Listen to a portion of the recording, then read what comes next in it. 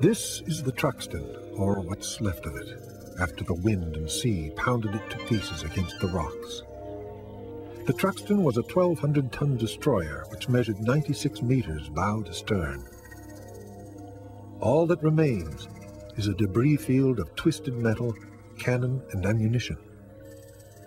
The Truxtun had its stern ripped off.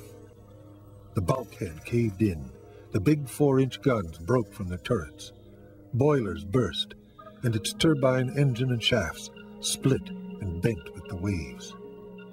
Sea urchin and starfish have claimed this warship as their own. The site is littered with brass and steel, twisted and smashed like the lives of 203 American sailors. This is what wreck hunting is all about.